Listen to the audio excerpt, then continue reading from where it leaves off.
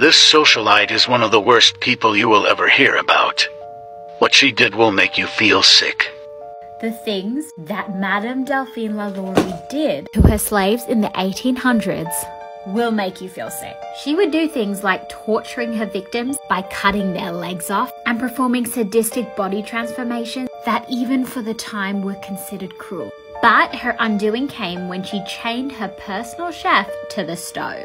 After years, the woman could not take any more, and it is said she decided to burn the whole building down in an attempt to expose what was happening in the basement. As her mansion went up in flames, Delphine managed to escape safely outside. However, she left all her slaves chained and locked in the basement. Some bystanders even requested that Delphine give them the keys and that they would run into the burning building and free her slaves but she actually refused. Nevertheless, some of the bystanders ran into the building, kicked down that door themselves, but were horrified what they saw when they opened the door. They simply could not believe how deformed all her slaves looked. So she did get exposed and was put on trial for cruelty. But before anyone could get any justice, she had escaped to France and simply disappeared after that. Till today, her house still stands in New Orleans, but is considered to be one of the most haunted houses in the world.